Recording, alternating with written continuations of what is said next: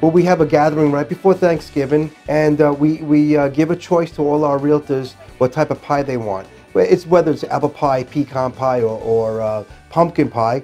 And uh, you know, we have a little gathering. We have we serve food, uh, drinks, and uh, some music. We have a good time. We shut the office early, and then they walk home with a, with a pie, and they can share it with their family on Thanksgiving. We gave everybody a free pair of sneakers, a RE/MAX sneakers that they could wear, you know, when uh, door knocking or whatever they're doing, you know, to uh, represent the company. It's to show some appreciation. They all work so hard and they're such a great example of um, professional and great agents and we're, we're just like a family. We like to, we just like to make them feel like family and um, be a part of their life. We wish you and your family a very, very happy Thanksgiving. I wish the, the very best to all of my realtors that work for me.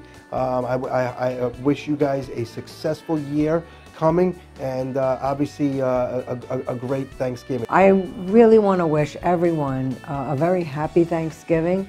I know for myself, when I count my blessings, I'll be counting each and every one of you.